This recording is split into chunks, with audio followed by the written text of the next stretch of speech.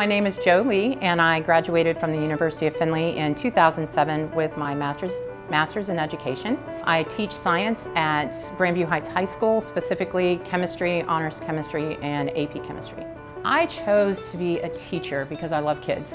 And frankly, anybody who wants to be a teacher, if you're not in it for the kids, you're not in it for the right reasons. I think what's most important, and I know it sounds kind of cliche, but the kids are our future. And they need somebody to encourage them, to show them their strengths, show them that they can do things they didn't think they could do before. And outside of that, it's the most rewarding thing to see kids accomplish that. It gives them, you know, so much, so much to look forward to.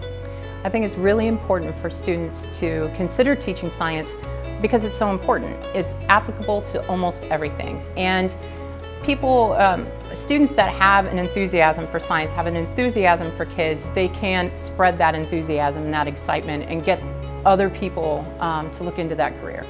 The education at Findlay helps me at my job now because they really help me to refine my teaching skills.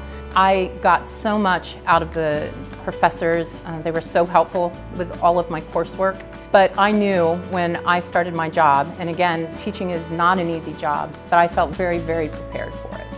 The advice I would give to a student looking for a college um, is a couple things.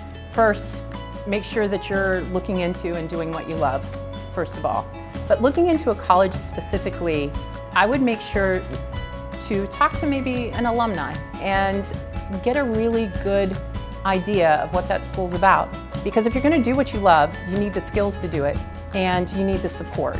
And if you ask me as an alum, I would tell you that the University of Findlay gives you all of that.